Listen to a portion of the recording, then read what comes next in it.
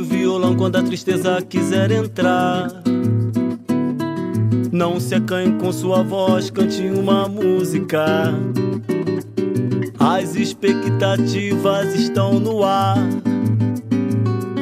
Peça a Deus muita saúde e vá lutar. Queimou a luz do banheiro, é do quarto também. O telefone está com defeito, o cabo não contacta bem.